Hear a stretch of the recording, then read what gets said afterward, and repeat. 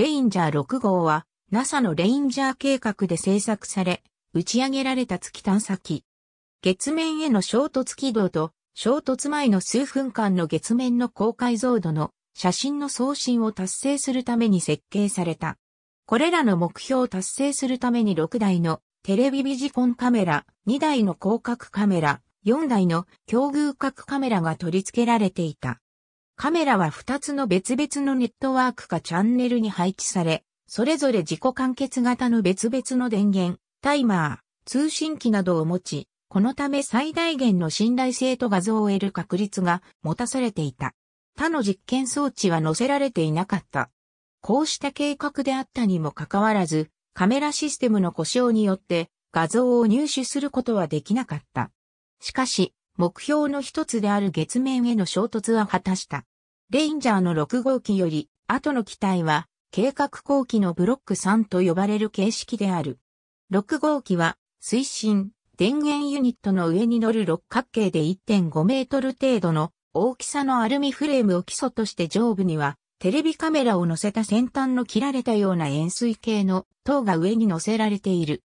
739mm、1537mm の2枚の太陽光パネルが基礎の下部から両側に伸びており、翼長は4.6メートルであった。氷特パラボラアンテナは蝶つがいで基部の太陽光パネルから離れた角に付けられていた。円筒形の準無指向性アンテナは、頭上部の最上部に取り付けられていた。全高は3.6メートル程度であった。コース中間での弾道修正用推進は、水力 224N のヒドラジン単元、推進薬エンジンによって行われた。このエンジンは4ジェット翼ベクトル制御であった。思考と三軸の姿勢制御は3つのジャイロ、4つの主要、太陽センサ、2つの副太陽センサ、地球センサによるシステムと連動する12機の窒素、ガスジェットによって行われた。電源は9792枚のケイ素製の太陽光電源セルによって供給されており、2.3平方メートルの面積で200ワットの電力が生成できた。1200ワット時の銀亜鉛電池は定格 26.5V で9時間分の容量を持っており、それぞれに分離していた通信テレビカメラ網に電力を供給した。1000W 時の銀亜鉛電池は宇宙機の運用のために電力を供給した。通信は純無指向性低利得アンテナとパラボラ、高利得アンテナを介していた。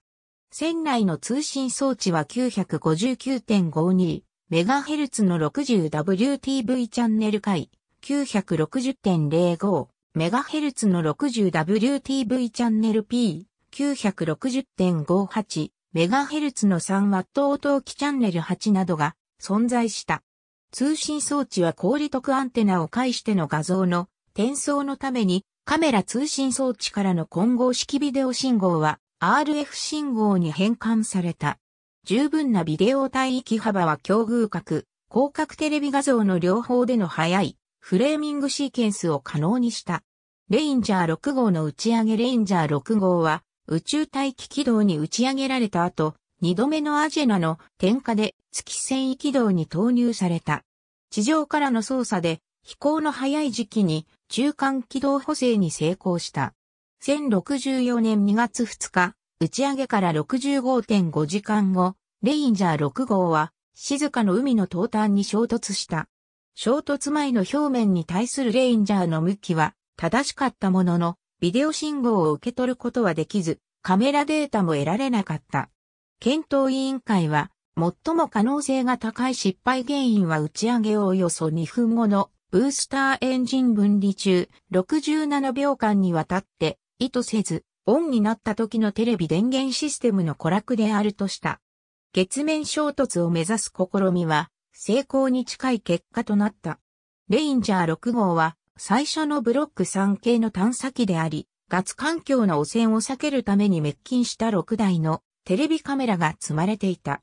この形式はソーラーパネルのように展開するシステムが取り入れられ、将来のより野心的ミッションに利用できる惑星間探査機のためのテスト機として役立った。ブロック2で積まれていた衝突カプセルに変えて、ブロック3では 173kg の TEB ユニットを積んでいた。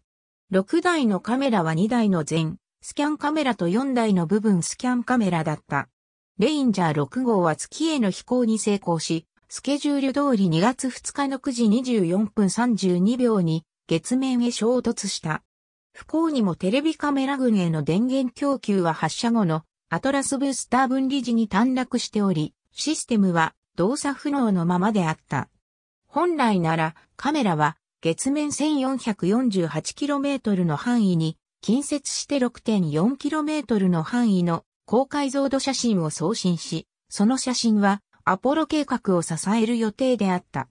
機体は月面座標北緯9度24分、統計21度30分に衝突した。ありがとうございます。